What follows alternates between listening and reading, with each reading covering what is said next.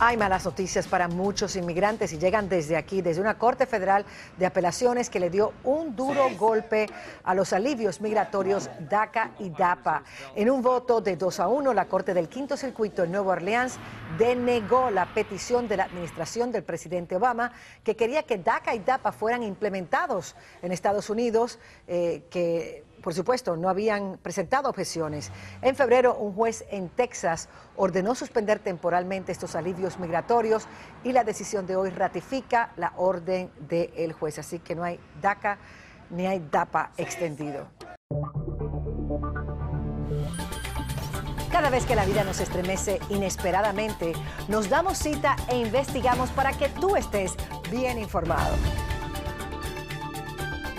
En el Rojo Vivo estamos conectados con nuestra comunidad, con sus necesidades y sus urgencias. A las 4, 3 Centro. Somos tu primer frente de información.